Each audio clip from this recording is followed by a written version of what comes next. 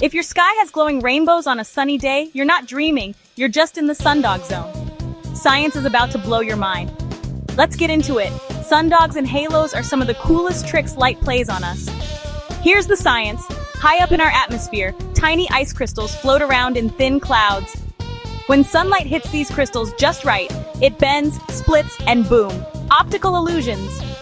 Sundogs pop up as bright spots on either side of the sun, like celestial sidekicks. And sometimes, you get full-on halos, giant glowing rings circling the sun or moon, making the sky look like a cosmic donut shop. These aren't rare, but you need cold air and sunshine to catch them.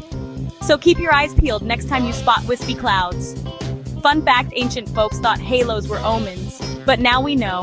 It's just physics flexing its muscles.